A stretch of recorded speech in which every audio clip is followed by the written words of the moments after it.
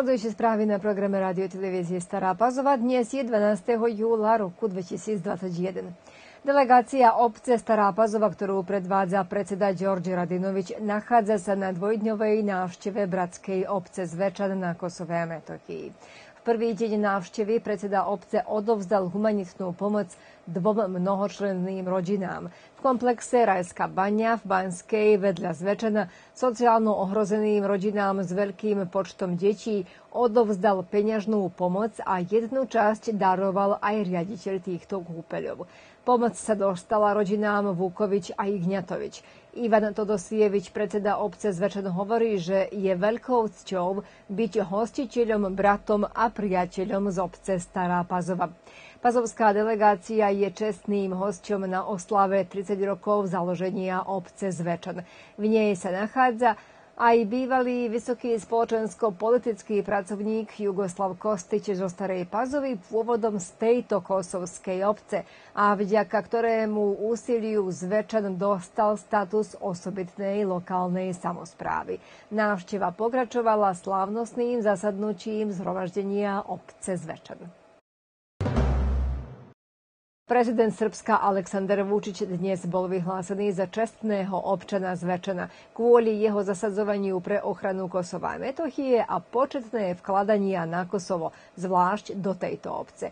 Na dnešnej slávnosti pri oslave 30 rokov založenia obce plaketu a kľúč od mesta Zvečan v mene prezidenta Vučića prebral Petar Petkovič, riaditeľ kancelárie pre Kosovo a Metochiu. Prezident Aleksandr Vučić dnes prijal námestníka pomocníka štátneho tajomníka Spojených štátov amerických pre energetickú diplomáciu Kurta Donnellyho. Témou stretnutia bola spolupráca dvoch krajín v oblasti energetiky. Náš prezident podčiarkol, že je pre Srbsko veľmi dôležité, aby zabezpečilo energetickú bezpečnosť, respektíve kontinuované zásobovanie energentmi. Donnelly prizvukoval, že je pre administratívu prezidenta Bidena energetika jedno z kľúčových otázok ekonomiky, ale aj zahraničnej politiky, vzhľadom na to, že sa Spojené štáty snažia byť globálnym lídrom v boji proti klimatickým zmenám. Štátny tajomník v ministerstve zdravotníctva Mirsad Derlek vyhlásil, že je štvrtá vlna koronavírusu nevyhnutná vzhľadom na to, že nebola využitá príležitosť, aby sa dosiahlo očakávané percento imunizácie. Menovaný tiež uviedol, že je prioritou dosiahnuť čo väčšie percento zaočkovaných a priblížiť sa tak ku kolektívnej imunite. Dodal, že sa krízový štáb o tretej dávke vakcíny vyjadrí 1. augusta po odporúčaní Národného telesa pre očkovanie, ktoré to urobí 23. júla. Dierlek počierkol, že sa štát pripravuje v lete závaznejšie pracovať, aby populácia vo veku 17 až 30 rokov bola motivovaná zaočkovať sa. Podľa neho výskumy hovoria, že je 31% občanov Srbska nerozhodnuté, keď ide o imunizáciu. Ministerstvo zdravotníctva oznámilo, že sa do Srbska dostali ďalšie vakcíny výrobcu Pfizer-BioNTech. Srbsko doteraz dostalo úhrne 38 610 dávok tejto vakcíny a podľa posledných údajov v našej krajine je 118 novonakazených osôb a následkom koronavírusu o život prišiel jeden pacient.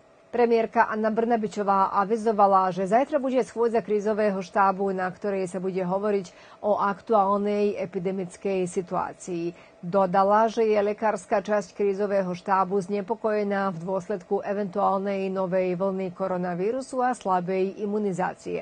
Podľa premiérky nie je dôležité len to, aby sme prevýšili 50% plnoletých zaočkovaných občanov, lež je veľmi potrebné znovu apelovať na mladých, aby to urobili.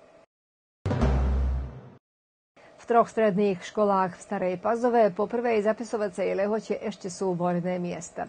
Na gymnáziu Bránka Radečeviča, ktoré má kapacitu 120 žiakov, budú formované plánované 4 oddelenia všeobecného úsmernenia a po riešení niekoľko prozieb o zmenu školy v následovnom školskom roku bude tu asi 105 prvákov. Ekonomicko-obchodná škola Vuka Karadžiča, ktorá prijíma 150 žiakov v štyroch triedach so štvorročným vzdelaním a v jednej trojročnej povolenie obchodník, práve tu má najviac volených miest. Aj v technickej škole je badateľný menší záujem o trojročné povolania. V následovnom školskom roku k dispozícii je tu 210 miest, a to v oblasti strojárenstvo, grafika a doprava, v štyroch štvorročných a v troch trojročných smeroch. Novinkou je zmiešané oddelenie podľa duálneho systému, operátor strojárenského spracovania a zámočník zvarovač. Avšak tu momentálne nie je nadostač žiakov pre plánovanú triedu a dosť voľných miest je aj pre povolanie mechanik hriacej a rozchladzovacej techniky.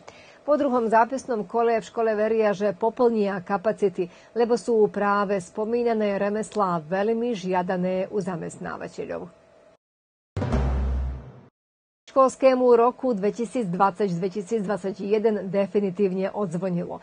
Zložitá situácia, ktorú spôsobila pandémia koronavírusu, ovplyvnila celý priebeh vyučovania doma i v zahraničí.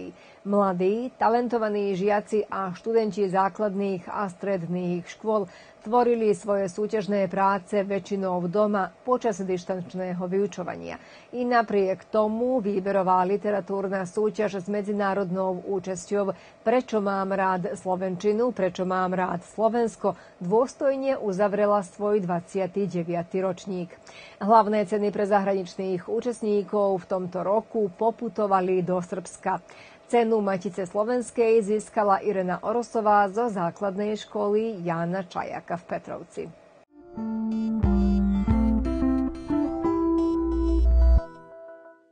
Podľa predpovede meteorológov zajtra bude slnečno a ešte teplejšie ako dnes so slabým juhovýchodným vetrom. Najnižšia teplota 19 až 23 a maximálna 38 až 39 stupňov.